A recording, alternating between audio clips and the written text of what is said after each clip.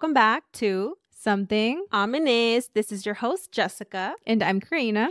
It's our Valentine's episode. I know Valentine's technically was yesterday, but it's our Valentine's week. So we have some um, love themed stories.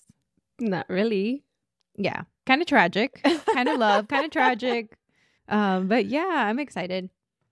You know, I feel like Valentine's this year is really about self love. It is. I think I've always looked forward to Valentine's just because of it was always like a big event at school. So I don't know. I love that. Dude, my favorite Valentine's memory is like being in elementary and exchanging the cards. Mm-hmm. Like, you know mm-hmm. how we would all be waiting with our little buckets? The teachers would be like, okay, go. And then we would all just stand yes. up and start just like passing out cards. Like, that was my favorite part about Valentine's. That was fun. I'm going to start today. And then we have a little Reddit story at the end. So I'm excited for that one too. Me too, because you made it seem like I got a story and I'm like, what is it? like I found something. Today's story is kind of a tragic love story and it's also close to home. I will be telling the story of the ghost bride that haunts Hotel Galvez in Galveston, Texas. I want to go there and stay the night at least one night. I was going to say, I'm like, this one is actually one that we can go visit. Good. Let's plan it. Mm-hmm. Okay. Um, and honestly, I don't really know Galveston too well. Every time I've gone, it's just to go to the beach or to go to Pleasure Pier or Kemah. So I haven't really heard of Hotel Galvez. But if you've been to Galveston and look up pictures, I'm pretty sure you've seen it before. It's a resort hotel that was built in 1911 and it stands out because it's painted a pretty peach or like a light pink color. A lot of famous guests have stayed here, and it even served as a temporary White House to Franklin D. Roosevelt in 1937. The hotel has about 220 rooms, and even though it's known for its luxury, it is also known to be haunted. This particular story is about the ghost bride, Audra. This story takes place in the 1950s. Audra was 25 years old and was at the peak of her love life. She was engaged to a mariner, and his ship would usually depart from Port Galveston, so Audra would often travel with him. She had her favorite room, which was room 501. The room was really close to the elevators, and from there, it had an access ladder to the roof where she would impatiently wait for her fiance. One day, after one of the worst thunderstorms, Audra finds out that the ship that her fiance was in had overturned and all lives were lost. Audra was devastated. She had lost the love of her life in that ship and felt like all her hopes and dreams were lost as well. In despair, Audra hung herself in the west turret of the hotel in the eighth floor. To make matters even worse, her fiance returned a couple days later. He had actually survived and had eagerly returned to look for her. It said that now, not just room 501, but the whole fifth floor has the most haunted activity. The Houston Chronicle reported that one guest stayed in room 501 with intent to make contact with Audra. Apparently, he spent all day trying to reach her without success, but at 3 a.m., she finally appeared. It said he had a photograph of a hand reaching out to him that looked like a lady's hand. The guest ran downstairs after he saw her apparition and was trying to check out as quickly as possible. It said the receptionist offered another room, but he refused. and it seems like this is a most requested room. Like everyone that stays there wants to book room 501 yeah. to do investigations. I find it so funny because you go there for that and then you run out scared. Yeah, that's what I was gonna say. I'm like, why would you go to a haunted place wanting to make contact and then when you do, yeah. when you're successful, you're like running out. I feel like those people probably haven't had like paranormal experiences, maybe. Yeah. And they're like, holy shit, like this is yeah. on another level. That'll be us. Oh, yeah, that's how it is. Dude, I don't think I would even sleep. I think I would just because I feel like I'm used to it, but I haven't seen an apparition. But I mean, you know, the things that have happened at my house, yeah. the door being opened on me, all that stuff. And it, like, I don't think I would be scared, but maybe if I see her, I would be like, shit. Yeah. Like if you wake up and she's just standing. Yeah. I would still bed. stay there but not in the room. I would probably be like, "Hey, can I change rooms real quick, please?" Yeah, no. Um, and not go back for my stuff until the next day in the morning. There has to be daylight. um, if I'm with someone else, I know for sure I wouldn't be scared. I have to be with like another two people, so I can sleep in the middle and be like sandwiched. That's funny. That's always been a thing of yours. I know. Like I've always had to sleep with like you and Lily, and I sleep in the middle. Yeah. There's a Reddit story of another guest that stayed in this hotel. This is user Schwab Schwab, and it goes like this. Back in December, I stayed at the Hotel Galvez off the seawall. The hotel is lovely, but is notorious for being haunted. Something I didn't realize till we stayed there. If you Google, you'll see the backstory, and I'd recommend doing so. They say the fifth floor is haunted, and the ghost of a young woman appears in rooms and wanders the hallway. They also say the ghosts of small children like to play tricks. People have said they've heard children laughing in the hallway around 4 a.m. and saw no sight of them. When I stayed there, we were on the third floor. I learned when we got there that hauntings happened around 4 a.m. on the fifth floor, so we should be in the clear, or so I thought.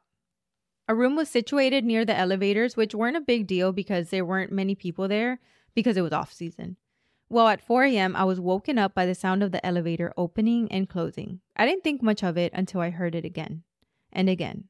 I laid in bed listening to the elevator open and shut, dinging and banging when closing. This went on for a good 10 minutes of me just listening. I finally got the courage to get up and look out the peephole. I saw the elevator opening and closing by itself, but no one was there. I then got the courage to leave my room and investigate. I walked out and saw no one there but the button being firmly held down on the outside. The elevator then closed and went up to the fifth floor and then came back. The whole process kept going on for hours till maintenance arrived. They looked at everything and saw nothing wrong.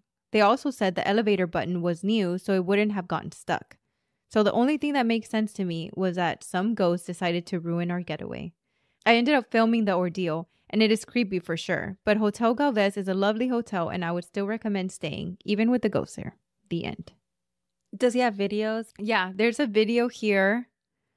Can you imagine just laying there, hearing the elevator door opening and closing ding, yeah, ding. Oh, so he recorded the elevator door opening and closing. Yeah. Stop. You know, because we see that like if someone's walking in yeah. and walking out, you know how the door will stop and then opens up again and closes and opens up again. Yeah, like when you're trying to catch an elevator, you put your hand through and yeah. it opens. That's how it is. It's not completely closing or opening. It's just like halfway closing and then it opens. Yeah. Oh, but look here, it actually closed. Did he push the button or the button was pushed? The button was pushed. Oh, okay. The button was pushed. See, there it goes again. Oh my God, that is so interesting. Karina, let's go. Just one night. We can plan a trip.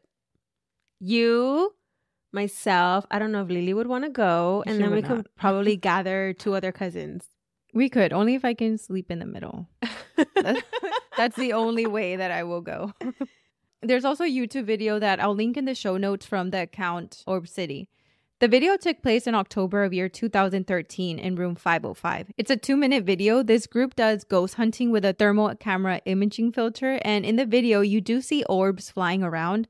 But to be honest, I'm a little skeptic when it comes to orbs. I don't know how you feel, but I just feel like I don't know, it can be mistaken for so many other things. Like dust particles or mosquitoes. Yeah. I feel like with an orb you can see through, whereas a dust particle is just like a solid. It's a color. solid thing and a bug too. Orbs, they're round spheres. You can actually see through them. Those I believe. But if I can't see through it, I'm like, no, I think that was just dust or a little fly or something. Mm. Yeah. See, I feel like maybe someone that understands them a little bit more would be like, oh my gosh, like that's completely an orb. But to me, I just saw like, like you said, kind of particles flying around. So mm-hmm. I wasn't sure, but that's what they that's what they posted. But I'll link it in the show notes for you guys to look and see and let us know what you think. But yeah, that is a tragic love story of Audra. Poor Audra. I know. I really hope she finds peace. And I hope she reunites with her fiance in the afterlife. Did they say anything about him? Like what happened to him? Did he No, I couldn't really find I couldn't even find like his name or anything. Uh-huh. I just wonder what happened with him. I wondered if he I mean, he probably didn't commit suicide because if he would have, then that would have been like the repeating story mm-hmm. to what happened to her. But that's so sad. Poor guy. Poor her. I know. It kind of gave me like Romeo and Juliet yeah. kind of story. So I'm next. Yeah. That's it. Was that your Reddit story? Uh no, I have another like Valentine's Reddit story. So, yours was a couple's love story. Mine is a little different. So, I wanted to cover the Saint Valentine's Day massacre that occurred in Chicago in 1929 and the hauntings that followed. Oh, okay. yeah, I went deep into the murder. I'm like, no love here. I was like, this is gonna be fun. Karina's gonna be like, but we were supposed to do it, but it was gonna be love. It's still Valentine's theme. So this all took place in Chicago during the 1920s. In the 20s, we were dealing with prohibition, the illegal sales and transportation of alcohol. Speakeasies were being opened left and right because, you know, folks got a drink. Mm-hmm. I mean, we need a little wine now. because of prohibition, the community was dealing with beer and alcohol wars between rival gangs and organized crime. The mafia was making millions from illegal sales and transportation of alcohol. Not only the mafia, but anyone that owned a speakeasy was making lots of money. The more money, the more control. You had rival gangs trying to take control of other territories, and they were playing really dirty. So people saw the spike on murders around this time, and it was getting really bad. So, according to History.com, in 1924, there were 16 gang related murders within that year, and by 1929, there were 64 gang related murders in total within that year. I'm guessing that's a lot. To me, it seems like a little bit, but mm. I mean, I don't know. It's nine is in the 20s. for that time. Yeah, for that time, it may be a lot. So yeah, it definitely picked up from 1924 to 1929, went from 16 to 64. The events leading up to the massacre started in 1924 when a brewery acquisition deal went wrong between Dion O'Banion the gang leader of Chicago's North Side, and Johnny Torrio, gang leader of Chicago's South Side. Torrio later ordered a hit on O'Banion. Two gunmen entered O'Banion's North Side flower shop, which was a decoy for his mob activities, and was shot to death. The Northside gang, now under control of Hymie Weiss, retaliates and later attempts to assassinate Johnny Torrio, but aren't successful. He's seriously injured and retires due to his injuries, leaving Al Capone in charge. Mm. Yeah. So Al Capone now being the leader of the Southside gang is like the North is not getting away with this, and he orders a hit on Hymie Weiss, murdering him. So, after losing two leaders, the North Side bootlegging operation is left in the hands of Irish gangster George Bugs Moran, one of Al Capone's top enemies. Over the years, Al Capone was able to take control of most of Chicago's territory except for the North. January 8th, 1929, Pasqualino Lolordo, one of Al Capone's associates, was shot and killed by unidentified gunmen who broke into his home. They believe the hit was arranged by Bugs to help remove protection around Al Capone so they can finally end Al Capone's life. Al Capone was pissed, of course, right? More than that, he wanted to end bugs once and for all. In the morning of Thursday, February 14th, 1929, a bootlegging operation was taking place in a garage at 2122 North Clark Street in Chicago's North Side. This garage belonged to Bugs and was used as a decoy for his operations. He received a call about a special shipment of bootleg whiskey from Canada that would be arriving at his garage. Bugs sent some of his associates to receive the shipment when several men dressed as policemen walked into the garage. Witnesses say they saw two of them in civilian clothing and other two posing as police officers. They arrived in police cars and even acted as if they were conducting a raid. Based on the evidence of the crime, they lined up six of the members from the Northside gang facing the wall of the garage. A seventh victim, not affiliated with the gang, was also lined against the wall. He was actually an optometrist, but just loved hanging out with the gangsters. Oh. Did I know? I was like, dude, you let like your life, yeah, your life for hanging out with these gangsters. Like you could have had a successful life. Mm-hmm. So officers say around 70 rounds of ammunition were fired at mm-hmm. the seven men. When police officers arrived, one of the members was barely hanging on to life. In the minutes before his passing, officers pressed him for information, but he would not talk. He was like, I'm fucking taking this to the grave. Wow. I know it's crazy. I think I would talk if I was dying. I think lie. I would too. If you know yeah. you're like about to die, I would just talk. Like, what the fuck's gonna happen? I'm dead. Yeah. Unless, well, you know, unless like he fears for his family or. Oh yeah, you're right. Mm-hmm. I forgot about that. When police found the few eyewitnesses, they concluded that the gunmen dressed as police officers entered the garage and pretended to be arresting the two men that were dressed in civilian clothing, even sitting them in the back of the car as a ploy. Wow. So they were trying to blend in 70 yeah. rounds of ammunition. Mm-hmm. People are going to wonder what the heck is going on. So as people were out, they see two policemen with a car and then the two suspects mm-hmm. in the back of the car arrested. Oh. Yeah, so they did that on purpose to get away. That was right. their getaway. It's crazy. Pretty smart. Pretty smart. Yeah, I was thinking that I was like, dang, I wouldn't I wouldn't yeah. think of like that. you even thought about the aftermath, yeah. like how am I going to get away with it? How did they get a car? I mean, I'm sure there was police officers involved. Yeah. Yeah. No one was ever arrested, but Bugs and others blamed Al Capone, saying that this was Al Capone's method of murder. Al Capone was in Florida at the time, and Bugs escaped death by not being there that day. Apparently, he was running late, so he was supposed to be there. Mm-hmm. The garage where the massacre happened was demolished in 1967. That area is now a side yard for the Margaret Day Blake Apartments, a Chicago housing authority for seniors. Aw. I know. that's, that's really sad. I know. I actually couldn't find any hauntings. Mm-hmm. If any hauntings happened in Yeah. the senior living facility, Mm-hmm. when the garage was demolished, people wanted to keep some of the bricks from the building as collector's items. If they had blood or bullet holes, even better. I know. Wow. Like, why would you want to keep so it? weird. That is freaking weird. So stories started coming out that people were experiencing weird things after they got the bricks. Like, no shit. Oh my god. what did you expect? Like, why would you even want something like that? I guess because like big in history. yeah. It was connected to Al Capone. But it's crazy because it's a brick and like the energy that it carries. Exactly. Mm. People started to think that the bricks were cursed because there were reports of some being haunted and getting into car accidents or even getting horrific diseases. The bricks are now located in the Mob Museum in Las Vegas, where they were reassembled to create the wall where the men stood. And if you go to the Las Vegas Mob Museum, Mm-hmm. they have the actual wall in the order where the bricks, I guess, like how Oh, the wall yeah. was. I mean, I don't know how they did the reconstruction. It says that they were numbered. Mhm. Whenever they demolished them, they were numbered. And they put them in that order, and you can see all the bullet holes and the, the blood stains. So I am going to link the museum's website. They have pictures of the wall in the Mhm. museum. And this is Vegas, you said, right? Vegas. Where it's not in Chicago, like in a museum in Chicago. I know. I don't know. That's weird. When people were reporting the hauntings, they were trying to get rid of the bricks. Oh, okay. Yeah, so they did go to a businessman in Canada, but I Mhm. didn't include this on here because there was no haunting under his supervision, and um, he just treated them really bad. So I was like, I don't want to include that on here, Oh, but I guess I might as well just say it. So he pretty much opened up a bar and he made a brick wall in the men's restroom Mhm. and put the bricks in the order that they were supposed to go. So that's how they were numbered. Because Mm-hmm. when he got them from people, he started putting them in an order, and he allowed men to pretty much pee on the wall. Yeah, I don't know. But his bar failed.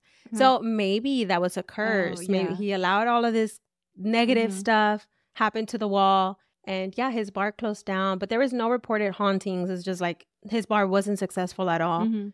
From there, they auctioned the bricks where the Mob Museum in Oh, Las. Vegas Okay. bought them, and now it's there. Oh, okay, gotcha. The museum now reports hearing sounds of gunshots and men moaning and falling to the ground. Dang. It's crazy. The prison where Al Capone was, I mean, I don't know if you've heard of it, but it's like super haunted, like especially Al Capone's cell. Mm-hmm. And there's many EMF recordings of him speaking. Yeah. So on Clark Street, where the massacre happened, similar noises are heard from people that now live in the area. And I didn't mention it earlier, but there was a dog in the garage when the massacre happened. His name was Highball. He belonged to one of the men that was assassinated. He wasn't murdered, but was found tied up and terrified when the officers arrived. They said he was so scared he couldn't stop shaking. He was heard by neighbors crying and barking, and he's actually the reason why the men were found. A woman living in the area went to investigate where the dog cries and barks were coming from and why no one was consoling the dog. And when she walked in, that's when she found the men. But now there are reports of dogs that walk past the area that tend to react, and they believe that it picks up the dog's energy that was left behind. Highball was sadly put down because he was so traumatized. No. Yeah. And so they say that when dogs pass by, um, they react negatively to that specific area. Mhm. They either start crying or bark or like get scared and run the opposite way. Oh. No. really. I know I was so sad. It was a beautiful German Shepherd, and there's a picture of him on the museum's website, and Mhm. he looks terrified. Hmm. He's like crouched, and his ears are down, his tail's tucked in, Mhm. and I'm like, pobrecito. That's really sad. Then there's a building next to where the garage was located that's still standing. The owner told Tony Sabelski of Chicago Haunting Ghost Tours that a lot of poltergeist activity takes place inside. He said things fly off the counter and off the shelves. People also report seeing unusual mist and lights as well as hearing men's voices when there's no one in sight. Others have reported feeling fear or a sense of panic, I guess similar to what the dogs pick up, I'm assuming. Yeah. They didn't say, they just say like that's what they feel and they just rather like walk away. And I'm like, it kind of sounds like the reaction the dogs are getting. And to end it, Al Capone was also tormented by the ghost of James Clark, one of the victims of the St. Valentine's Massacre. Clark was Bug's brother in law. And legend says that Al Capone was convinced there were two people occupying that one bed cell he had. He could be heard at night by other inmates begging Jimmy to leave him alone.